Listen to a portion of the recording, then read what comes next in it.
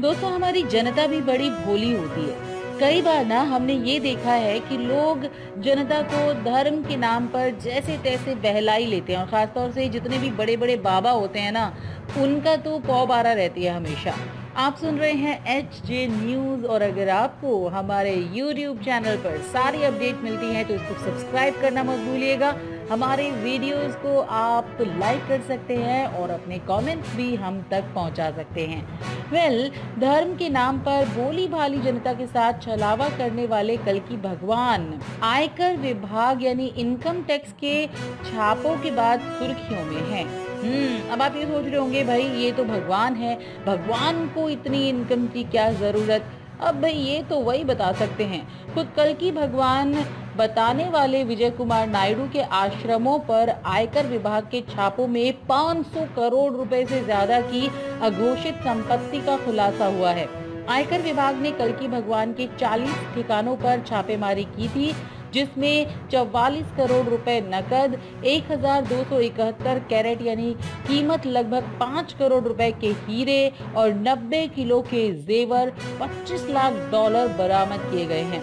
आयकर विभाग ने आंध्र प्रदेश, कर्नाटक व तमिलनाडु के आश्रमों पर छापे मारे थे, जिनमें इन संपत्तियों का खुलासा हुआ। सत्तर साल का विजय कुमार खुद को विष्णु भगवान का दसवां अवतार बताता है।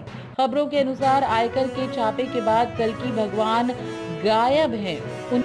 1980 में विजय कुमार ने एलआईसी में क्लर्क की नौकरी छोड़कर जीवाश्रम संस्था की स्थापना की और वेलनेस गुरु के तौर पर वो मशहूर आरोप है कि कथित कलकी बाबा ने अपने ट्रस्टों के ज़रिए दर्शन और आध्यात्मिक ट्रेनिंग देने के बहाने विदेशियों से भी पैसा बनाया। बाबा के आश्रम में देश के धनी लोगों के अलावा विदेशी और एनआरआई की कतारें लगती थी। कल की भगवान के साधारण दर्शन के लिए पाँच हज़ार और विशेष दर्शन के लिए पच्चीस हज़ार रूपए देने पड़ते थे।